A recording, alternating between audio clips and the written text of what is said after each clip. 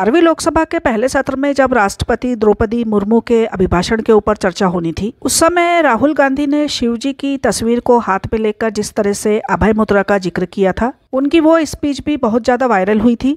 वित्त मंत्री निर्मला सीतारमन आम बजट पेश कर चुकी है। आज फिर से जब लोकसभा में राहुल गांधी को बजट के ऊपर चर्चा करने के लिए आमंत्रित किया जाता है आज फिर से लोकसभा में वे अपनी स्पीच शुरू करते हैं महाभारत अभिमन्यु और चक्रव्यूह से। राहुल गांधी ने किस तरह से चक्रव्यूह को सरकार वित्त मंत्री और बजट से कोरिलेट किया है आपको भी एक बार ज़रूर सुनना चाहिए। स्पीकर सर हज़ारों साल पहले हरियाणा में कुरुक्षेत्र में एक युवा को अभिमन्यु को छह लोगों ने चक्रव्यूह में मारा था। चक्रव्यूह के अंदर पर होता है हिंसा होती है और अभिमन्यु को चक्रव्यूह में फंसाकर ट्रैप कर कर छह लोगों ने मारा।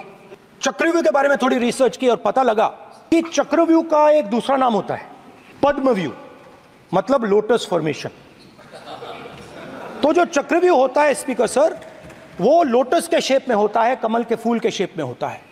21वीं सदी में सर एक नया चक्रव्यूह तैयार हुआ है। स्पीकर सर वो भी लोटस की शेप में है सर और उसका चिन्ह प्रधानमंत्री जी अपनी छाती पर लग के, लगा के चलते। सर, जो अभिमन्यु के साथ किया गया था, जो अभिमन्यु को चक्रव्यूह में फंसाया गया था, वही हिंदुस्तान के साथ किया गया है। हिंदुस्तान के युवाओं के साथ, हिंदुस्तान के किसानों के साथ, हमारी माताओं, बहनों के साथ स्मॉल बिजनेसेस के साथ मीडियम साइज़ बिज़नेस के साथ। सर, अभिमन्यु को छह लोगों ने मारा था। उनके नाम द्रोणाचार्य, कर्णा कृपाचार्य कृतवर्मा अश्वत्थामा और शकुनी। सर आज भी चक्रव्यूह के बीच में छह लोग हैं। तो जैसे उस टाइम छह लोग कंट्रोल करते थे वैसे आज भी छह लोग कंट्रोल कर रहे हैं। चक्रव्यूह को नरेंद्र मोदी जी अमित शाह जी मोहन भगवत जी अजीत दोवल जी अंबानी और अदानी जी कंट्रोल कर रहे हैं। So one element of the chakravyuh is coming from the concentration of financial power the second element sir मैं बजट को एक्सप्लेन कर रहा हूं sir the second element is the institutions the agencies CBI ED income tax department of this nation and the third is the political executive speaker sir these three together are at the heart of the chakravyuh and they have devastated this country speaker sir my expectation was that this budget would weaken the power of this Chakravyuh. This budget would help the farmers of this country, the youth of this country, would help the laborers, the small businesses of this country. पहला काम इस चक्रव्यूह ने क्या क्या किया जो हिंदुस्तान को रोज़गार देते हैं स्मॉल एंड मीडियम बिजनेसेस हैं जो करोड़ों युवाओं को रोज़गार देते थे उन पर इस चक्रव्यूह ने आक्रमण किया कैसे किया? नोटबंदी जीएसटी और टैक्स टेररिज्म आप लोग आतंकवाद की बात करते हो, पूरे देश में, पूरे देश में अगर कोई भी व्यक्ति छोटा बिज़नेस चलाता है तो रात को उसको फ़ोन कॉल आता है इनकम टैक्स डिपार्टमेंट से जीएसटी से, और टैक्स टेररिज्म का वो शिकार बनता है। इस टैक्स टेररिज्म को रोकने के लिए बजट में आपने कुछ नहीं किया है। फाइनेंस मिनिस्टर बैठी हैं। अब युवाओं के लिए आपने क्या किया? और निन्यानवे परसेंट जो हमारे युवा हैं, उनको इस इंटर्नशिप प्रोग्राम से कुछ लेना देना नहीं कोई फ़ायदा नहीं होने वाला है। तो आपने पहले टांग तोड़ दी और उसके ऊपर आप बैंडेड लगाने की कोशिश कर रहे हैं। मेन मुद्दा आज युवाओं का एग्ज़ाम पेपर लीक है। जहाँ भी हम जाते हैं, आपने बेरोजगारी बेरोजगारी का चक्रव्यूह बना दिया इनके लिए।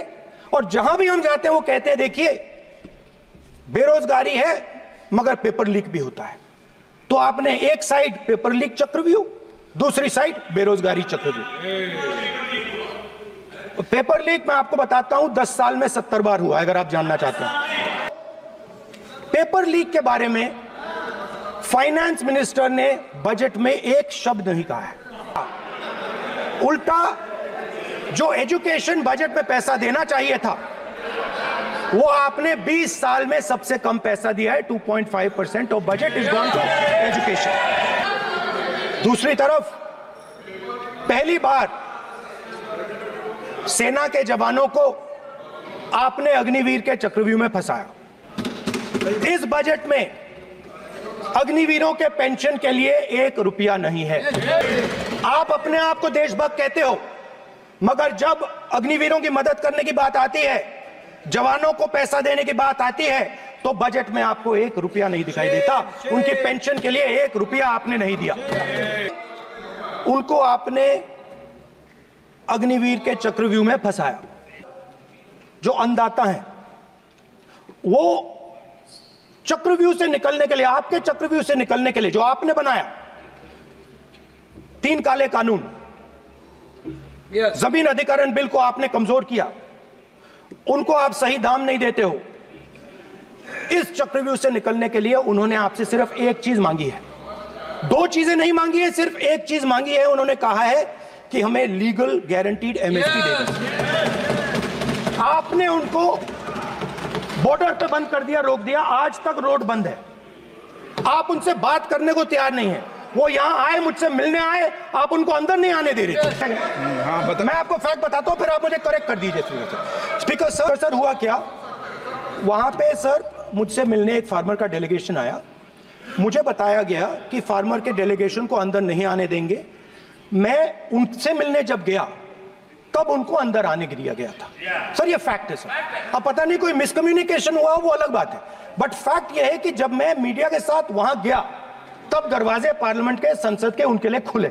उससे पहले वो बंद थे। ठीक और ये आप उनसे भी पूछ लीजिए सर। इस सदन में मान्य सदस्य के अलावा दूसरा कोई व्यक्ति बाइट नहीं दे सकता। और हाँ और आपकी मौजूदगी में बाइट दी। ये क्लियर करना चाहता हूँ। सर ये टेक्निकलिटी है सर ये मुझे मालूम नहीं। थी कोई बात जो अन्नदाता है जो सरकार से सिर्फ़ एक चीज़ मांग रहा है लीगल गारंटीड एमएसपी हमें लगता था कि ये कोई बड़ा काम नहीं है सर। ये इतना बड़ा काम नहीं है।